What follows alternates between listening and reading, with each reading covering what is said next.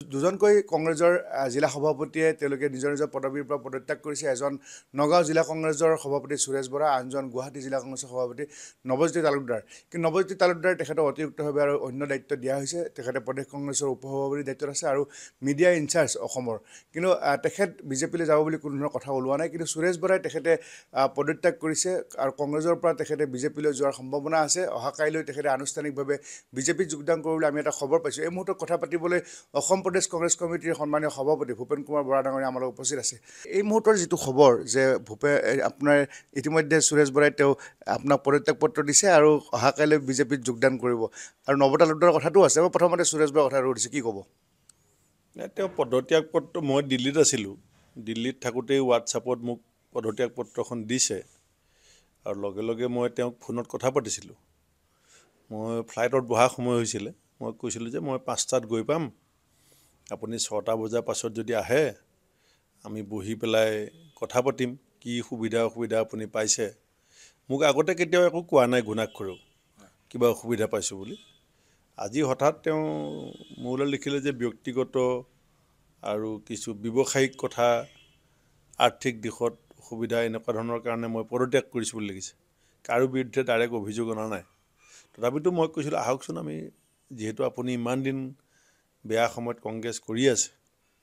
এতিয়া তিনি তাৰিখৰ পাছত আমি খুব ভাল দিন এটা আশা কৰি আছোঁ। তেওঁক মাতিছিলোঁ তেওঁ আহিম বুলিও কৈছিলে। এতিয়া কি কাৰণে আহিব নে নাহে মই নাজানো আৰু।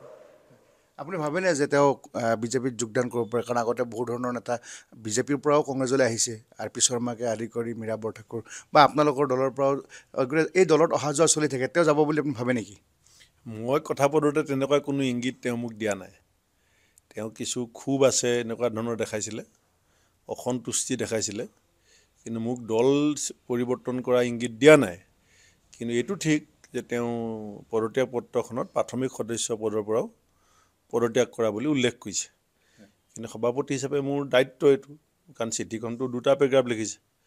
মই জানিব বিচাৰিছিলোঁ যে ইমান দুবাৰ তিনিবাৰ এম এল এ খেলা এজন মানুহ মাত্ৰ পাঁচশ ভোটৰ ব্যৱধানত পৰাজয় হৈছে।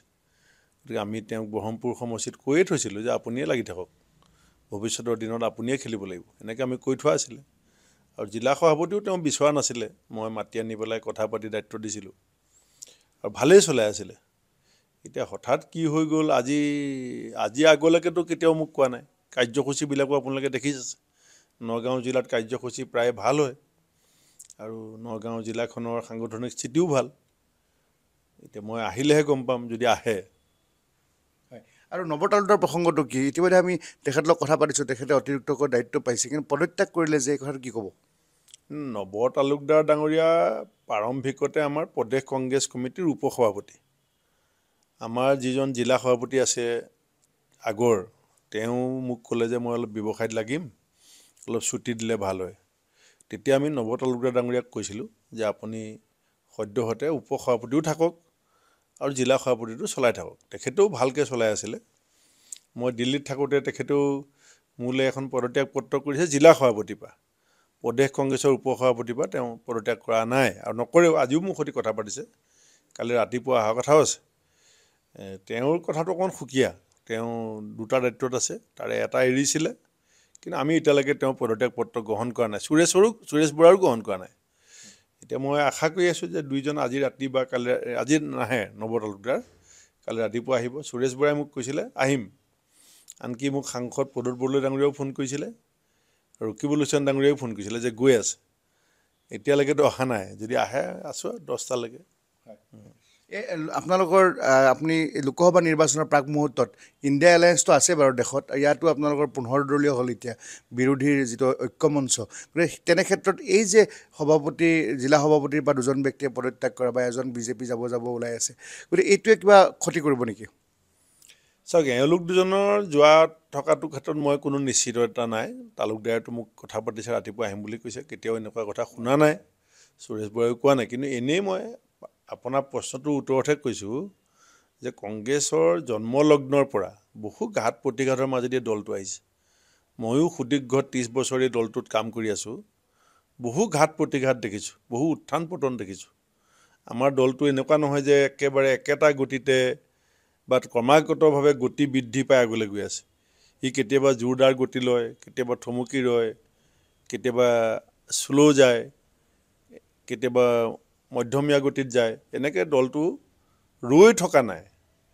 দলটো ধাৰাবাহিকভাৱে আপোচবিহীনভাৱে জাতীয় স্বাৰ্থত সদায় কাম কৰি আহিছে।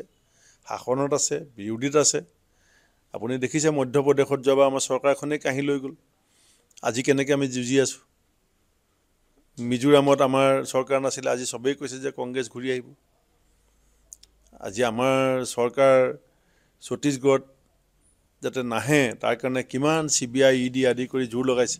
সকলোৱে গম পাইছে ছত্তীশগড়ত ঘূৰি আহিব। গতিকে ঘাট প্ৰতিঘাত উত্থান পতন আছে। আৰু এই যি দুজন ব্যক্তিৰ কথা কৈছে তেওঁলোকৰ ভৱিষ্যতো আছে। তেওঁলোকৰ কংগ্ৰেছতহে ভৱিষ্যত আছে। বিজেপিয়ে ৰাজনৈতিক একেবাৰে শিখৰত আৰোহণ কৰিলে। এতিয়াও তাৰ ওপৰলৈ যাবলৈ বিজেপিৰ একো নাই। এতিয়া বিজেপি নামিবলৈ বাধ্য ৰাইজে নমাবলৈ বাধ্য। এতিয়া যদি ৰাইজে বিকল্প ভাবিছে কংগ্ৰেছক ভাবিছে নহ'লে পাঁচখন ৰাজ্যত কংগ্ৰেছ জিকিব বুলিতো চবেই কৈ আছে মই এতিয়া গৈছিলোঁ ৰাজস্থান। ৰাজস্থানৰ মানুহে কৈছে যে এটা মাইণ্ডছেট হৈ আছে মানুহৰ যে পাঁচ বছৰৰ মূৰে মূৰে চৰকাৰ বদলি হয়। সেইকাৰণে ওলাই আছে ৰাজস্থানত কংগ্ৰেছ হাৰিব বুলি। প্ৰকৃতাৰ্থত ৰাজস্থানত কংগ্ৰেছ জিকিব। এইটো এটা ইণ্ডিয়া ভিত্তিক মাইণ্ডছেট যে ৰাজস্থানত পাঁচ বছৰৰ মূৰে মূৰে বদলি হয়। বসুন্ধৰা ৰাজে সিন্ধিয়াই একেবাৰে বিজেপিয়ে গুৰুত্বহীন কৰিলে।